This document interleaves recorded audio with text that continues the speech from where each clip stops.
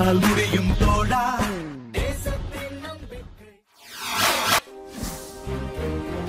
ஐம்பத்தி இரண்டு பேருடன் சுற்றுலா சென்ற பேருந்து கண்டெய்னர் லாரி மீது மோதியதில் ஒரு பெண் பலியானார்.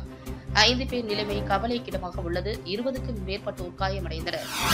செங்கல்பட்டு மாவட்டம் மதுராந்தகம் அருகே ஜானகிபுரம் என்ற இடத்தில் சென்னை திருச்சி தேசிய நெடுஞ்சாலையில் சென்னை குன்றத்தூரில் இருந்து ஐம்பத்தி இரண்டு பேருடன் திருச்செந்தூர் சுற்றுலா சென்ற பேருந்து முன்னால் சென்ற கண்டெய்னர் லாரி மீது மோதியது. இந்த விபத்தில் பேருந்தில் பயணம் செய்த நான்கு ஆண்கள் நான்கு பெண்கள் உட்பட இருபதுக்கும் மேற்பட்டோர் படுகாயமடைந்தனர்.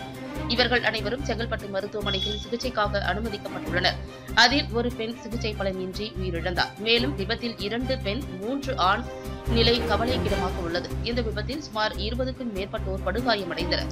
இந்த விபத்து குறித்து மதுராந்தகம் போலீசார் வழக்கு பதிவு செய்து விசாரணை மேற்கொண்டு வருகின்றனர்.